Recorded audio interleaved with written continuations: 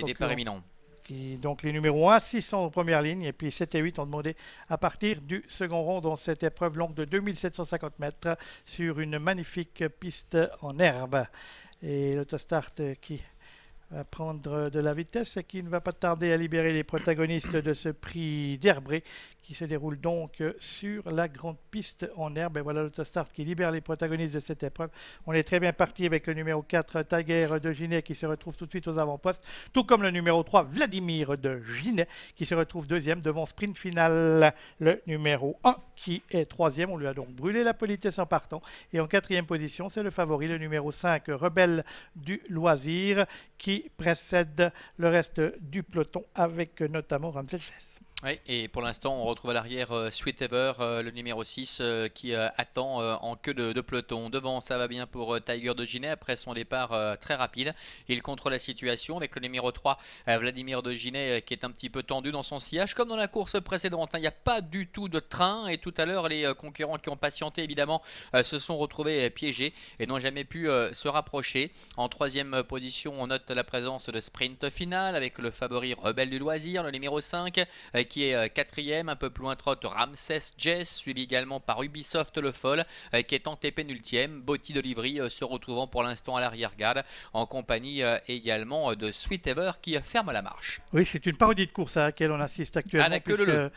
avec Tiger Jenner, on a tout repris avec Patsefeu. Comme personne qui veut venir, tout le monde fait la planche pour retenir son partenaire, sauf le numéro 4, Tiger de Ginet, qui trotte à son petit rythme devant les tribunes. On dirait qu'ils sont compteur ou au défilé, mais c'est la course qui est lancée. Et avec euh, toujours Tiger de Ginet, on veut pas aller vite avec euh, Vladimir de Ginet qui reste dans son sillage. On tire beaucoup avec sprint final euh, qui attend.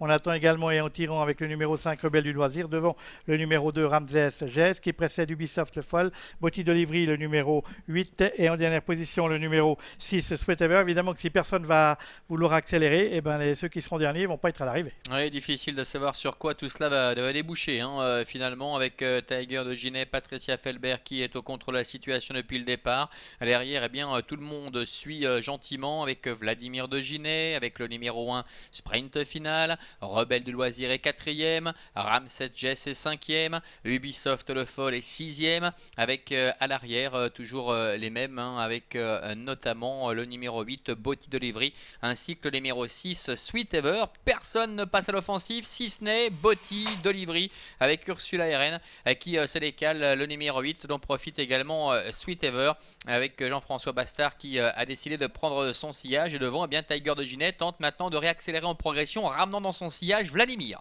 Oui c'était le moment de venir hein, parce qu'il a encore pas trop de train donc on a amélioré sa position avec Botti d'Olivry qui, qui sera né au vent pour le, tournoi final avec Tiger de Ginette le numéro 1 le numéro 4 qui a toujours le meilleur. Précédent à l'extérieur le numéro 8 Botti d'Olivry on est là ensuite côté corde avec le numéro 3, Vladimir de Ginet. Sprint final enfermé, le numéro 1. On est là également avec Sweet Ever, le numéro 6. Et dans le wagon de l'extérieur, on va retrouver également le 7 Ubisoft, le Foll. On est à l'arrière-garde maintenant avec le favori rebelle du loisir qui se retrouve complètement ligoté et qui va passer à l'arrière-garde. Et en dernière position, c'est Ramsey Jess.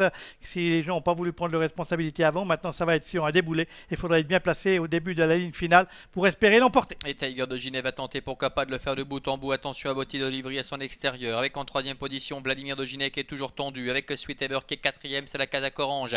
Un peu plus loin, euh, ce sprint final avec Ubisoft le Foll. Ramset Jess qui est à l'arrière. Garde avec le favori. Rebelle du loisir. Entrée la dernière ligne droite. Tiger qui est le meilleur. Botti de Livry à son extérieur. Sweet Ever qui se décale avec Vladimir de Ginet qui plonge en dedans. Rebelle du loisir également qui refait un peu de terrain à la corde avec sprint final. Ramset Jess complètement à l'extérieur. Faute de Sweet Ever avec Tiger de Ginet qui a toujours le meilleur. Vladimir de Ginet. Rebelle du loisir qui vient en dedans et Ramsès Jess également à l'extérieur qui refait énormément de terrain. C'est Tiger de Ginet, Patricia Felbert qui a piégé ses adversaires qui s'imposent.